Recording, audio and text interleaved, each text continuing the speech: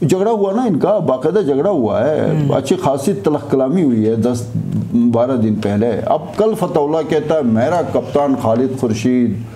میں وارے نیارے جاؤں جی۔ پھر اندر سے گنڈاپور گورنر اور یہاں پہ ایک پورا گروپ سی ایم کے خلاف سرگرم عمل کیوں ہے؟ یہ کوئی بھی بات کریں، اس کا الٹ لے لیں۔ اس میں کوئی شک و شبہ نہیں ہے کہ پی آئی نے کچھ جو اقدامات کیے پچھلے دو مہینے میں، وہ لائق تحسین ہے۔ تو سرمایہ کاری اور انویسٹرز کا بھی رخ ہوگا، صرف سیاحت کو فروغ نہیں ملے گا۔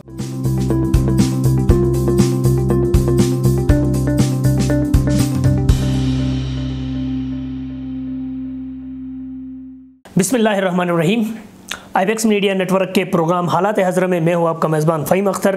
ناظرین، گلگت بلتستان میں بجلی کی صورتحال پر عوامی رد عمل سامنے آ رہا ہے۔ تاہم، محکمہ برقیات اور صوبائی حکومت ابھی تک ٹس سے مس نہیں ہے اور کسی بھی قسم کا پلان ان کا سامنے نہیں آ رہا ہے۔ رمضان المبارک کے اس مقدس مہینے میں خصوصی طور پر افطاری اور شہری کے اوقات کے لیے خصوصی ایک شیڈول جاری کر دیا گیا۔ اس پر بھی عمل درآمد نہیں ہو رہا اور عوام کی جو تشویش ہے، اس حوالے سے وہ بڑھتی جا رہی ہے۔ ایک اہم خبر آج سامنے آ رہی ہے کہ پی آئی اے نے گلگت گلگت اور سکردو کے لیے خصوصی فلائٹس کا اعلان کر دیا ہے، جس میں لاہور سے گلگت کے لیے اور کراچی سے سکردو کے لیے خصوصی فلائٹ چلیں گی۔ اس کے علاوہ جو ایک اہم ڈیولپمنٹ ہوئی ہے، وہ عارضی ملازمین کا دھرنا ہے، جس پر گزشتہ رات کو پانچ صوبائی وزراء نے جا کر ملازمین سے مذاکرات کیے اور دھرنا کو مؤخر کر دیا۔ اس کے ساتھ ہی ایک اور اہم خبر بھی آئی ہے، جسے کشمیر ٹائمز نے بریک کیا ہے کہ وزیر اعلیٰ گلگت بلتستان خالد خورشید نے آزاد کشمیر کے انتخابات میں کچھ بندوں کی سفارش کرنے کی کوشش کی تھی، جس کے اوپر علی مین گنڈاپور وفاقی وزیر امور کشمیر و گلگت بلتستان کی جانب سے سخت رد عمل سامنے آیا ہے اور وزیر اعلیٰ گلگت بلتستان کو انہوں نے اپنے حدود میں رہنے کی گزارش کی ہے۔ پروگرام میں ان موضوعات پر ہمارے ساتھ گفتگو کرنے کے لیے اسٹوڈیو میں موجود ہے سینئر تجزیہ نگار ایمان شاہ صاحب۔ شاہ صاحب سب سے پہلے بجلی سے شروع کرتے ہیں۔ گلگت بلتستان کے لوگ اس مسئلے کی وجہ سے ہمیشہ سے متاثر ہے اور کوئی بھی دن اس حوالے سے کوئی اچھی خبر ملنے کو نہیں مل رہی اس پہ۔ اچھی خبر کیا وہ بیسیکلی ہوا یہ نا پاکستان میں یہ ڈھائی سال پی ٹی آئی کا تجربہ یہ رہا کہ پرائم منسٹر نے جب بھی یہ بات کی ہے کہ مہنگائی پہ ہم قابو پالیں گے مہنگائی اور بڑھ گئی بڑھتی گئی۔ انہوں نے کہا جی کہ ہم لا اینڈ آرڈر کی سچویشن کو اس کو جو ہے نا ریاست کسی بھی طور پہ اس پہ کمپرومائز نہیں کرے گی۔ وہ جتھے جو ہے نا انہوں نے آ کے اپنے پوری آپ کو پتا وہ فیض آباد دھرنے سے لے کے یہ سارا لاہور تک۔ اب جو یہی سلسلہ جی بی میں ہے جیسے رمضان المبارک کا آغاز ہو گیا اس سے دو دن پہلے چیف منسٹر نے اعلیٰ سطحی اجلاس بلایا اس میں بجلی کے حوالے سے بتایا جی کہ سحری اور افطار پہ کوئی شیڈنگ نہیں ہوگی۔ اب وہ یہ کہ اس اعلان سے پہلے جو بجلی گلگت میں آپ جو شیڈول تھا وہ بہت بہتر تھا۔ جیسے چیف منسٹر نے وہ اعلان کیا بجلی وہ الٹ پلٹ ہو جاتا ہے۔ تو آئندہ سے یہ پی ٹی آئی کے جو بھی لوگ ہیں ذمہ دار وہ بیانات دے دیں کہ بجلی کی لوڈ شیڈنگ میں ہم اضافہ کریں گے تو وہ تھوڑی سی بہتری آئے گی۔ وہ کہیں گے کہ ہم مہنگائی میں مزید اضافہ کریں گے تو مہنگائی میں تھوڑی سی کمی آئے گی۔ وہ کہیں گے کہ جی ہم لا اینڈ آرڈر کو جو ہے نا کسی طور پہ بھی اس کو کنٹرول کرنے کی ضرورت نہیں جو جی میں آئے کرے تو وہ آٹومیٹکلی بہتر ہو جائے گا۔ تو یہ وہ بیانات نہ دے دیں وہ ہاں ایک اور بات کریں۔ کہے کہ یہ میرٹ کو جو ہے نا بہت بری طرح پامال کریں گے جس کا جس طرح بس من پسند لوگ لگائیں گے۔ ہاں ہاں وہ اپنا کام کر جائیں تو ہو سکتا ہے تھوڑا میرٹ فالو ہو جائے۔ تو یہ الٹ اب بیانات دیں گے تو کچھ بہتری آئے گی وہ ویڈیو کلپ میں دیکھ رہا تھا چیف منسٹر کی وہ ایک پوری ایک کوئی داستان بیان کر رہے تھے۔ جی وہ ہم کچھ نہیں کر سکتے ہیں وہ پہلے سے آ رہا ہے۔ مجھے خود بھی پتہ ہے بجلی کا بہت پرانا بحران ہے۔ اور پانچ سال کا بتا رہا ہے وہ کہ پانچ سال بعد کہیں جا کے یہ پروجیکٹس ہو جائیں گے تو ایسا نہیں ہوتا ہے۔ بیسیکلی یہ جو ایشو آ رہا ہے اس کو چیف منسٹر کو میرے خیال میں اس کو تھوڑا سا جو ہے وہ سسٹم نے سپورٹ کرنا چھوڑ دیا ہے کہیں سے۔ اور سسٹم کا سپورٹ جب پیچھے ہٹ جاتا ہے نا تو پھر آپ کے صرف بیانات رہ جاتے ہیں عملی اقدامات چونکہ ہیزل پاور پروجیکٹ کا سٹارٹر ابھی تک جاری کیوں نہیں ہوا ہے؟ دیکھیں Hansel power project P S D B کا منصوبہ ہے اور اس کا ٹیکنیکل سینکشن بھی ہوگا فائنانشل اس کا اس کی بیڈ کی وغیرہ سارا کچھ ہو گیا ہے۔ ہمیں تو یہ بتایا گیا تھا کہ اپریل میں اس پہ باضابطہ کام شروع ہو جائے گا۔ اگین بات وہی ہے کہ علی امین گنڈاپور وہاں بیٹھا ظاہر ہے بہت سارے معاملات اس نے طے کرنے بہت سارے معاملات اس نے طے کرنے ایسے فری میں کوئی وہ ایدی ٹرسٹ تو نہیں ہے۔ یا ایدی ویلفیئر سینٹر تو نہیں ہے کہ وہ بیچارہ جو۔ ہے وہ مفت میں کام کرتا رہے وہ پیسے خرچ کر کے یہاں تک پہنچے ہوئے ہوتے ہیں رضاکارانہ کام نہیں کر سکتا اس ہے کو ابھی ابھی جو ہے نا کچھ اے پی ایس ڈی پی کے پروجیکٹ سے جو ہے وہ جو Income آ رہی ہے۔ وہاں سے شروع ہوا تو ایسے جلدی جلدی کام ہوں گے وہ پہلے اپنے پیٹ پوجا پھر کام دوجا والی سچویشن ہے تو کسی بھی سطح پہ ہم دیکھتے ہیں گلگت شہر کے اندر متعدد سڑکوں پر کو بلاک کیا گیا احتجاج کیے گئے ٹائر جلائے گئے حکومت کے خلاف نعرہ بازی کی گئی۔ حکومت کا کوئی وزیر کوئی بندہ ٹس سے مس نہیں ہے کہ ان کے پاس پہنچ سکے ان کو جا کے اپنی جو مدعا ہے یا موقف ہے وہ سنا سکے۔ میرے خیال میں وہ ذکر ہوا تھا کہ حکومتی وزراء کا اب کام تو یہ رہ گیا نا کہ ایک وزیر اپنے بھائی کی پوسٹنگ پہ گرجتا برستا ہے جو میں نے اس دن ذکر کیا تھا۔ بالکل۔ اپنے مخالف کسی جن کو ہم نرسنگ سٹاف کہتے ہیں۔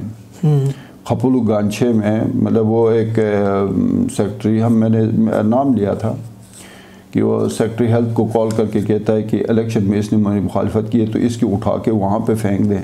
تو یہ جو وزراء بیٹھتے ہیں نا سارے صبح سے لے کے اگر دفاتر میں بھی بیٹھتے ہیں تو اس میں نائنٹی پرسنٹ اپنے ذاتی کام ہوتے ہیں۔ ذاتی کام میں یہ ہے کہ اس کے علاقے کے اپنے کسی بندے کو جو ہے نا پوسٹنگ کس طرح کروانی ہے اپائنٹمنٹس کس طرح کروانی ہے اپنے رشتہ داروں کو کس طرح اکاموڈیٹ کرنا ہے ٹھیکے کس طرح لینے ہیں۔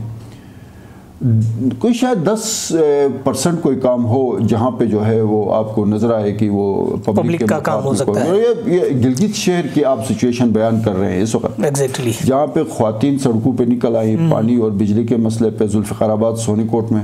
اس کے بعد نگرل میں لوگ سڑکوں پہ نکل آئے پانی وہاں پہ جو ہے نا پانی جو ہے میرے خیال میں کہیں سے کوئی چینل ٹوٹا ہے پانی نکلا ہے گھروں میں پانی چلا گیا سارا کچھ۔ وہ سڑکوں پہ ہے حکومتی کوئی بندہ نہیں تھا۔ امجد کو جا کے وہاں پہ سارے معاملات نپٹانے پڑے نگر اور مجین مالا میں جو کچھ ہوا۔ تو اس حکومت نے چار پانچ مہینے میں لوگوں کو بہت زیادہ مایوس کیا ہے۔ میرے خیال میں خالد خورشید کو ایک ایک چیز اور جو مجھے سمجھ آ رہی ہے نا وہ یہ کہ لیڈرشپ میں جب تک قوت فیصلہ نہ ہو فیصلے کرنے کی قوت نہ ہو۔ یہ وزیر اعلیٰ صاحب سر عوام سے اتنے دور کیوں ہے ہم نے حفیظ الرحمان کو بھی اتنا کم از کم اتنا تو ہم نے دور نہیں دیکھا تھا۔ وہ گلگت شہر میں اور اپنے حلقے میں رہتے ہوئے ایٹ لیسٹ کہیں نہ کہیں پہ وہ عوام کے بیچ آتے تھے۔ عوام سے عوام میں جا کے کیا کہیں گے؟ ہوا کیا؟ کچھ بھی نہیں ہوا نا عوام کا۔ دوسرا یہ کہ مزاج میرے خیال میں کوئی ان کا مزاج ایسا ہے کہ جہاں پہ زیادہ کچھ جو ہے وہ لوگوں میں میل جول رکھنا۔ پانچ مہینے میں صحافیوں سے باضابطہ ملاقات نہیں ہوئی کوئی پریس کانفرنس اس نے نہیں کی ہے پانچ مہینے ہو گئے کوئی پانچ مہینے کوئی سال کا بھی پلان ابھی تک اس نے نہیں دیا۔ اپنے وزراء کے ساتھ بھی تو باضابطہ کوئی انٹریکشن نہیں ہے۔ اب تو وزراء بھی اندر سے آپ کو پتہ ہے پی ٹی آئی کے اندر یہ جتنے بھی تردید کرے یہ ہزار مرتبہ تردید کر لیں فتح اللہ تردید کر لے۔ اور فتح اللہ اور سیم کا جھگڑا کس بات پہ ہوا؟ جھگڑا ہوا نا ان کا باقاعدہ جھگڑا ہوا ہے۔ اچھی خاصی تلخ کلامی ہوئی ہے۔ دس بارہ دن پہلے۔ اب کل فتح اللہ کہتا ہے میرا کپتان خالد خورشید میں وارے نیارے جاؤں۔ جی اور مسلسل کہہ رہا ہے۔ میں سر پھر جھگڑے کس بات کے ہیں؟ پھر اندر سے گنڈاپور گورنر اور یہاں پہ ایک پورا گروپ سی ایم کے خلاف سرگرم عمل کیوں ہے؟ اور یہ یہ خبر لے جا کے ہم کشمیر ٹائمز کی جو آج کی خبر ہے اس کے ساتھ لنک کر سکتے ہیں۔ کشمیر ٹائمز کی خبر اپنی جگہ پہ کبھی بھی سیاستدانوں کو جو میں نے بتایا نا یہ کوئی بھی بات کریں اس کا الٹ لے لیں۔ اب فتح اللہ نے کل جو بھی بات کی ہے نا اس کا مطلب ہے کہ کچھ پک رہا ہے۔ اس کا الٹ لے لیں نا۔ الٹ لیں گے تو وہ صحیح آپ کو تصویر سامنے آئے گی ان کی۔ یہ صورتحال تو ہمیشہ سے ہے۔ جو اچھی خبریں ہیں پچھلے دنوں لاہور سے سکردو کے لیے پہلی فلائٹ آ گئی چھ اپریل کو۔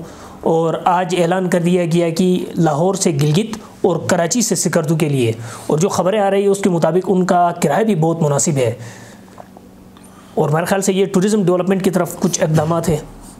اس میں کوئی شک و شبہ نہیں ہے کہ پی آئی نے کچھ جو اقدامات کیے ہیں پچھلے دو مہینے میں وہ لائق تحسین ہے اور اس سے نہ صرف گلگت بلتستان کے عوام کو ریلیف ملے گا بلکہ یہاں پہ سیاحت اور سرمایہ کاری کو فروغ ملے گا۔ ایگزیکٹلی میں دو ہزار انیس میں حمزہ چیمبر آف کامرس کے ایک وفد کے ساتھ کراچی گیا۔ وہاں پہ بڑے بڑے جو انڈسٹریلسٹ ہیں، ان کے ساتھ جب ہماری ملاقات ہوئی، انہوں نے کہا، یار، ہم گلگت میں تو ہم اپنی انویسٹمنٹ کر لیں گے۔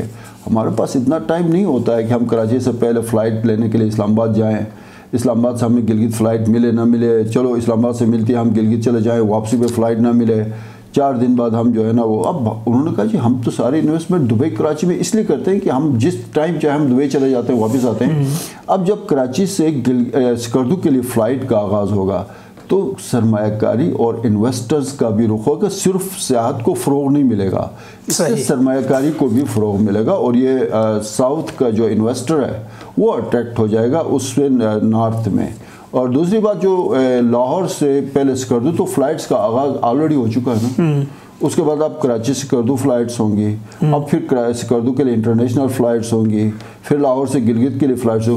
اس سے زیادہ پی آئی جی بی کے لیے کچھ بھی نہیں کر سکتی اور یہ دیکھیں کہ اگر واقعی اس بات میں سچے اور آپ بتا رہے ہیں نوٹیفیکیشن بھی ہے اس کا کہ لاہور سے گلگت کا کرایہ چھ ہزار ہوگا اور تو اس سے کم ٹکٹس آپ جو ہے نا وہ اس کو ڈیمانڈ اس سے کم توقع نہیں کرے نا پھر بیک مانگنے والی بات ہے۔ نہیں اتنا تو جائز ہے ان کے لیے۔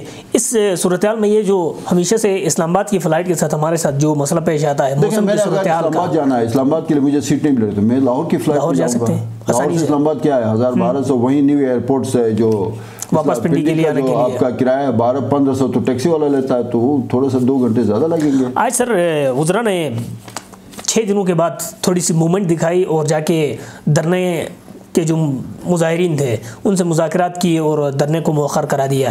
کیا پیش جن لوگوں نے دھرنا دیا نا ان کو اس بات کو سمجھ لینا چاہیے تھا یا ان کو اس بات کی سمجھ آنی چاہیے تھی کہ اسمبلی میں بات کیا ہوئی تھی۔ اسمبلی میں بات یہ ہوئی تھی کہ جی ہم اس پروسیس کو ریویزٹ کرنا چاہتے ہیں کہ act of assembly two thousand twenty جو ہوا ہے اس میں کوئی خرابیاں تو نہیں ہے کسی کے ساتھ زیادتی تو نہیں ہوئی ہے۔ کوئی بندہ ایلیجیبل تھا اس کو پیچھے رکھ کے جو ایلیجیبل نہیں تھا اس کو شامل تو نہیں کیا گیا۔ اس پہ اتنا چار پانچ دن خواتین کو بھی لا کے ذلیل کر کے ادھر چیف سیکرٹری باہر وہ تماشا لگانے کی کیا ضرورت تھی؟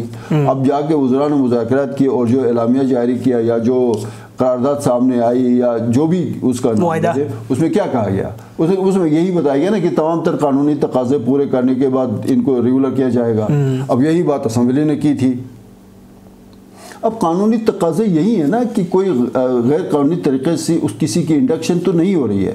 یا کسی کے ساتھ زیادتی اور بل کے اندر کوئی جعل سازی تو نہیں ہوئی ہے۔ مطلب یہ ساری, یہ ساری چیزیں دیکھے جائیں گے تو اب اسی میں آپ پڑھ لیں۔ اسی کے اندر لکھا ہوا کہ جی تمام تر قانونی تقاضے پورے کر کے ان کی جو ہے نا ریگولر کیا جائے گا۔